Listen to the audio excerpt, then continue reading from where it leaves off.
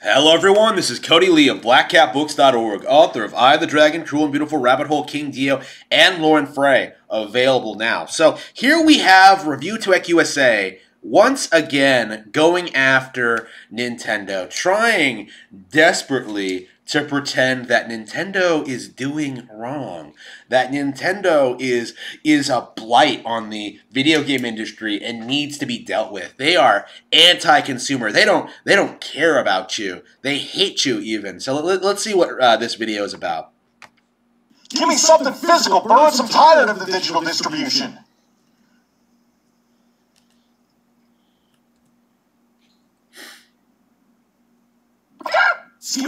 I, I, hate, I hate his skits. So They're awful. I've awful. been talking about this for a very long time, and companies have made it abundantly clear that they don't give a crap about preserving games unless they can milk the consumer dry and make them pay for something over and over again and rebuy it Here's the thing: you don't have to buy games when they re-release them. That that's something that uh, people like this don't understand. I still play a lot of my old consoles, a lot of my old a lot of my old uh, a lot of my old physical games. Like i don't need to, to subscribe to nintendo switch online in order to play super mario 64 or ocarina of time or banjo kazooie or pilot wings or super mario world or any of that stuff. Like i have other formats for it. I have like i have it on other stuff. So the entire argument that like oh man i i've paid for these games already why do i have to pay them again it falls flat because the vast majority of people who are playing these games don't own them. Like if you played them in the past, you you uh, you probably sold your console and moved on, which is why you're interested in uh, Nintendo Switch Online or the eShop to begin with. Like people, most people who still own and play these games regularly won't necessarily upgrade to uh, Nintendo Switch Online unless they're like hardcore enthusiasts who want to just ex- experience these games on a new console a game 13 times, they have no interest in it. They'll go after websites. Nintendo has done this before, go after websites where there are ROMs from dead companies and development companies that the licenses are in limbo. The only way you can get these games is if you buy an expensive physical copy, somebody or wait for an official release. That's become more and more common in recent in recent day uh, in recent years with companies uh, taking IPs that are in limbo, stuff like Crash Bandicoot, Ty the Tasmanian Tiger, Turok, uh, all this stuff, and sort of re-release it on Switch, like giving it like a, a sort of an upgrade, sort of a, a, remastering it, like maybe adding in some new features and kind of doing stuff. I've recently been playing uh, Blaster Master Zero, which uh, the first game is actually a remake of the original Blaster Master, and I believe like the uh, the sequels are like entirely new games using the same engine. So it's uh you, know, companies are doing all sorts of things to make these games available. You, you know what I mean? Like uh, this argument that um, uh, these games aren't available is, is simply not true. It, it never was really, but um, this kind of this kind of goes into what I've been talking about, saying when it comes to the uh, the eShop debate is that like it's not necessarily about the eShop. It's about pirates trying to justify their own actions. And uh, Rich in this video seems to be taking the stance of the pirates. Uh, Arr, we should be able to play all these games on, on our PCs just because we have nothing else to play. Games are expensive, I should say. Or you get the ROM. And if you're not, look, I'm anti-piracy. Oh yeah, sure, Rich, sure you are. Is where you don't make the game available, and the only way you can get the game is by pirating it then I'm for piracy. That may be a controversial hot take, but if you're offering no other way. Wait, wait, I'm against piracy, but I'm for piracy. That th- those statements, it, it's like Rich, like Rich used to flip flop between video from video, but now he's flip flopping in like less than ten seconds. That legit was like it took ten seconds to flip flop on his stance. Like, oh man, flippity flop, just ship wop wow, what a what a joke! Way to purchase the game, and you're giving the customer no choice but to get a pirated ROM to play it, and you're not offering the game anywhere. You're not giving them a way to preserve their library that they spent Nintendo Switch Online. They, they've uh, they've given statements about this. Reggie has given statements about this. Uh, the plan with Nintendo Switch Online is eventually to have every single game from every single Nintendo console on the platform. Like they're still fleshing out the NES library, they're still fleshing out the Super Nintendo library, they, they have to do the N64 library. There's a lot of games they still need to add. But that's what they're doing. And and people like Rich are conveniently ignoring this because like, oh man, the, the Nintendo Switch Online is bad. But but it's not bad. Like that, that, that's that's kind of the point is the, re- the, the reason I have such an issue with this video is that these games are readily available. They have the the platform available to re-release these games. Like at this point, it's just ironing out the licensing issues, coming to deal, making deals with all these companies, and getting all of these games released on Nintendo Switch Online. thousands upon thousands of dollars on in some cases on previous generation consoles, then yeah, I am pro piracy in those instances. Sorry, not sorry. Now, if you remember early last year, there was a big fallout with Sony and a big drama because they, on July 2nd, were going to shut down the PSP and PS3 stores, and on August 27th, they were going to shut down the PS Vita store, and people were like, yeah, we're not having this. Like, we still enjoy playing these systems, and this is really screwed up that you're doing this, Sony. Knee-jerk We want reaction. access to these games. Bring up Sony when And we I'm talk about Nintendo. Yes, they'll yeah, let sure. you download the games that you already purchased, but maybe there are games on there that people want to purchase that they may have never played before. They want access to those libraries. So around mid-April, they changed course and they decided to do this. Instead, this comes from The Verge. Upon further reflection, however, it's clear that we made Sony did this for like Sony will like bend over backwards for any kind of positive PR from the public. They look at this knee jerk reaction and just and just say to themselves, "Oh, this is something we can do to make ourselves look good." Like even though we're the worst worst of the three platform developers, we're the worst company in gaming. We always have been. We can um we can placate our fanboys by just by just keeping these stores open for a little bit while longer. It's it's hilarious. The wrong decision here. So today I'm happy to say that we will be keeping the PlayStation Store operational for PS3 and PS Vita devices. PSP commerce functionality will retire on July 2nd, 2021 as planned, which I think is great because a lot of these games you still can't purchase on current gen platforms. It's So wait, wait, wait, wait, wait. Nintendo, Sony, or Microsoft. They're retiring the PSP one. Nobody brings that up. Like, oh man, Sony. Like, oh, I was told specifically that Sony was keeping the eStore up on all of their consoles, but no. Like, PSP is going down, but the PlayStation 3 and the Vita are staying up. Why? Like, who is buying games on Vita? Everyone. Nobody owns a Vita. Microsoft give you options. Microsoft is the best with it because they were really, really staunch on backwards compatibility and, until they weren't, until recently. But some of these games, it's not like every one of these games are going to get a remaster or they're going to be redone for current gen consoles or PC. So a lot of them will get lost in the void, and that sucks. So it was good to see Sony mostly reverse course on that. I mean, it, we got to be understanding with, with the PSP. The PSP is going all the way back to 2004, but even that, like maybe there are games I want on the PSP that I could have downloaded that I can't get anywhere else. That sucks, and it's not like there's a huge Did you? Did you? When was the last time you logged onto the PSP store? When was the last time you went on the PS3 store? When was the last time you went on the Vita store? That's that's another thing people aren't really bringing up when it comes to like the backlash when it comes to this. Is no one that's complaining has bought games from these platforms. They're all like major Steam drones or like uh, con- uh, current gen only console players. Like they have th- they don't go back to these old stores and look through through them to find and uh, try and find hidden gems and stuff like that. They're they're not hardcore gamers.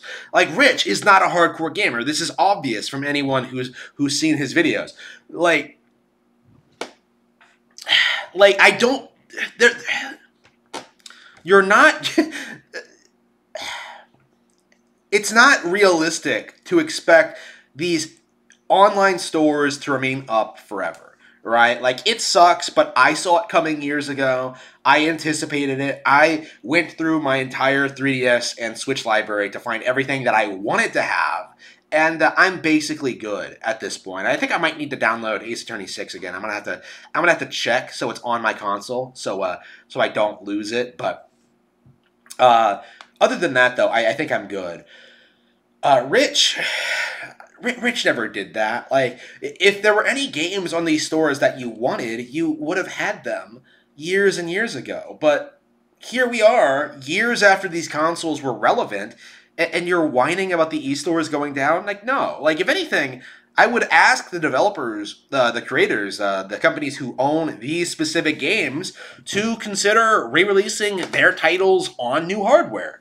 Like that might actually be a good publicity stunt. Is just be like, yeah, the uh, our our games are going down, but we're going to re-release them on Switch. Like that's really all they need to do. Um, like why are you blaming nintendo for this? Like it, it's it's the same thing all the time. Like oh man nintendo shouldn't do this. Like sony did this the right way. No it's it's not nintendo's problem. Like uh, the stores were always going to go down. We always knew this.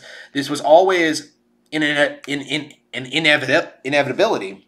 I, I i don't see enough Rich is just full of shit uh, when you get right down to it. It's a digital store, mom and pop shop where you can get some of these games are digital only, and you can't purchase a physical copy of them. So even if you want to go on eBay or or to some uh, independent video game store, which there are none by me anymore, guess what? You're shit out of luck. Well, Nintendo has announced on their support pages that they will be shutting down the Wii U and Nintendo 3DS shops in the future and they give dates and some explanations here. This is what they had to say. As of May 23rd, 2022, it will no longer be possible to use a credit card to add funds to an account in 2022.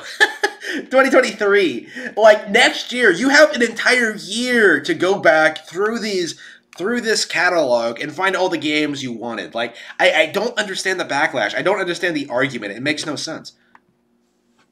Nintendo eShop on Wii U or the Nintendo 3DS family of systems, which I'm very thankful that I purchased some games for the Wii U I bought for a video review coming soon. As a matter of fact, on my secondary YouTube channel today, literally right after I'm done filming this, I'll be live streaming me playing Wii U games, so make sure to go to RTU Streams. Rich, I'm not. I'm not watching your streams. Fuck off. Better things to do. I'd rather make my own stream. As of August 29th, 2022, it will no longer be possible to Alexa, use stop. Nintendo eShop card to add funds to an account in Nintendo eShop on Wii U or the Nintendo 3DS family of systems. However, it will still be possible to redeem download codes until late March 2023. Even after late March 2023 and for the foreseeable future, which I guess that, that disturbs me a little bit because they didn't say just for good. Because if you bought these games, you should have permanent access to them. It will still be possible to re-download games and DLC, receive software updates, and enjoy online play on Wii U and the Nintendo 3DS family of systems. Now, this is the ominous question that was asked on the FAQ, and their answer is very telling here. Uh, once it is no longer possible to purchase software in Nintendo eShop on Wii U or the Nintendo 3DS family of systems, many classic games for past platforms will cease to be available for purchase anywhere. Will you make classic games available to own some other way? If not, then why? Doesn't Nintendo have an obligation to preserve its classic games by continually making them available for purchase? Across our Nintendo Switch online membership plans, over 130 classic games are currently available in growing libraries for various legacy systems. 130 games on Nintendo Switch Online, and people still try to argue it's a bad deal.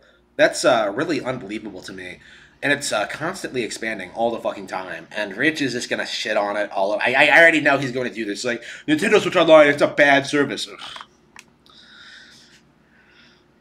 The games are often enhanced with new features such as online play. We think this is an effective way to make classic content easily available to a broad range of.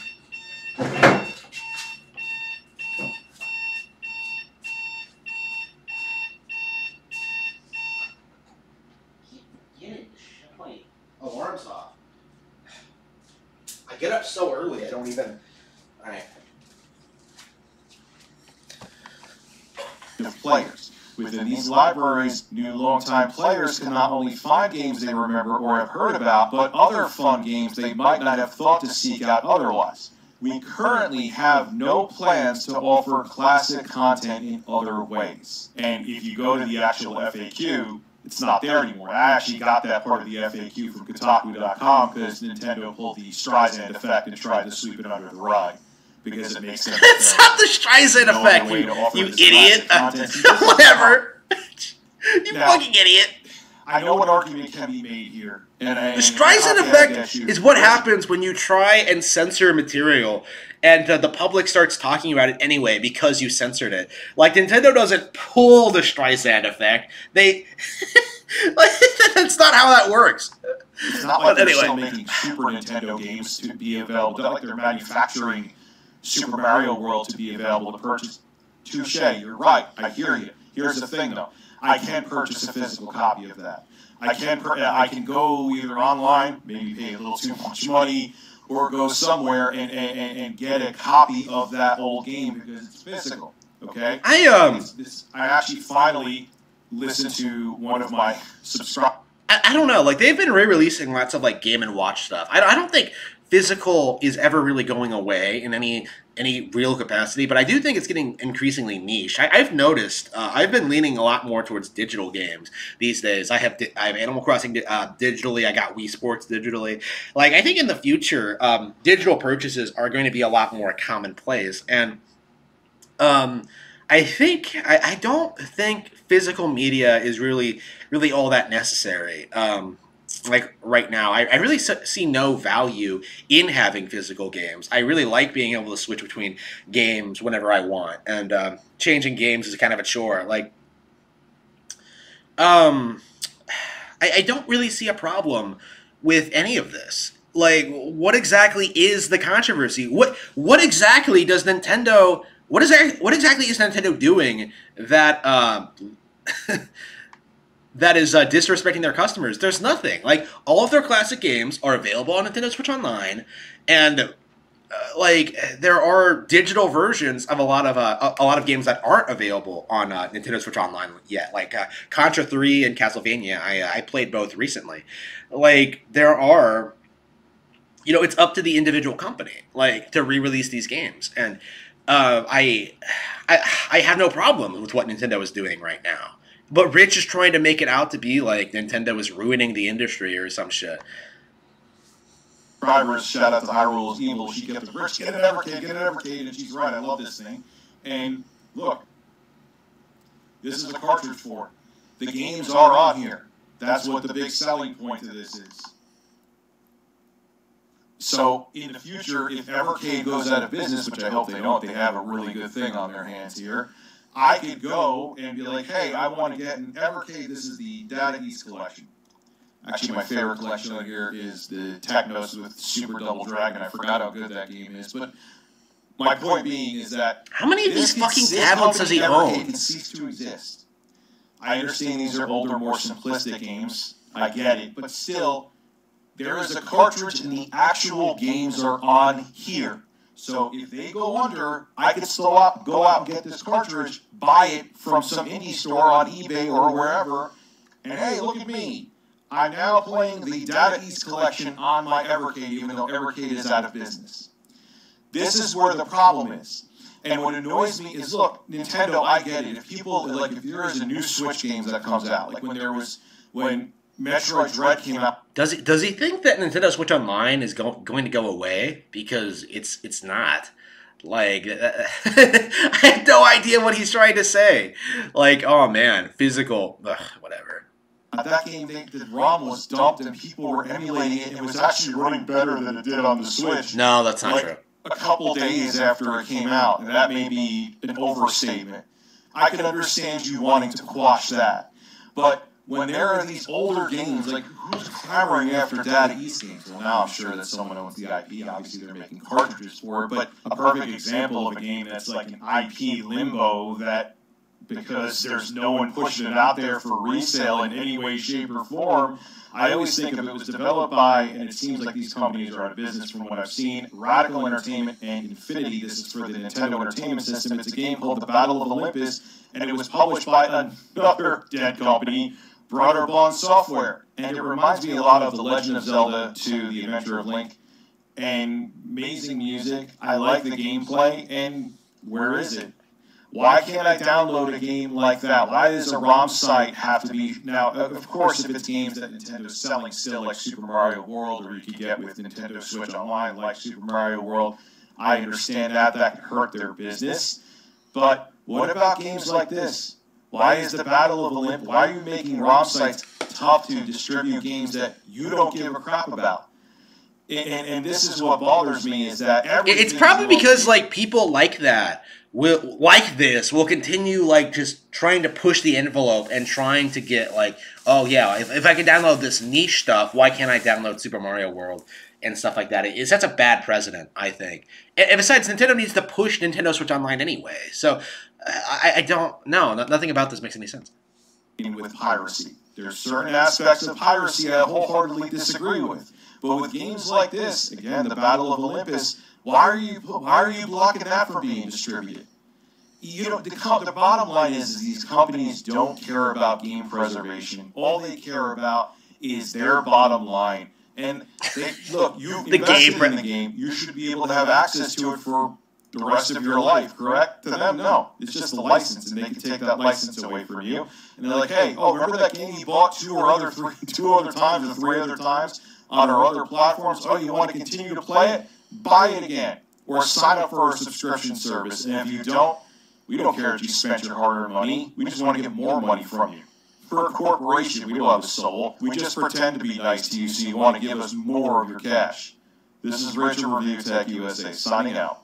Game preservation is such a fucking meme. like, like these games don't go anywhere. They don't just disappear into the void. Like, they're still. They don't re-release them all the time. So it's the Disney Vault thing, right? If they don't re-release them all the time, they build up like a mystique and a sense of like excitement when they do get re-released. Like that's all they're doing, right? Um, like there, there's nothing, there's nothing wrong with what Nintendo is doing, and that's uh, that's kind of uh, you know, Rich did nothing to convince me that Nintendo doesn't give a damn about the consumers. So yeah, Rich is um, Rich is a tool. Hate his guts hate everything he stands for, hate his clickbaiting, hate his flip floppy, um, hate his opinions, uh, hate everything about him. This guy is a complete joke.